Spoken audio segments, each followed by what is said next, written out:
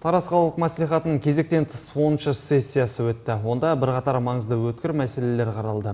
Алдымен халық қалаулылары 2023-25 жылдарға арналған қалалық бюджеттің шешімін өзгерту турасында айтты. Онан кейін кәмелетке толмағандардың істері және олардың құқықтарын қорғау жөніндегі комиссияның құрамын бекіту жөнінде мәселе көтерді. Депутаттар бұдан бөлек облыс орталығының бірқатар көшелерін асфальттау, қоғамдық көлікке субсидиялар бөлу, сондай ақ бюджет есебіне жатақханаларды жөндеу бойынша сөз қозғады.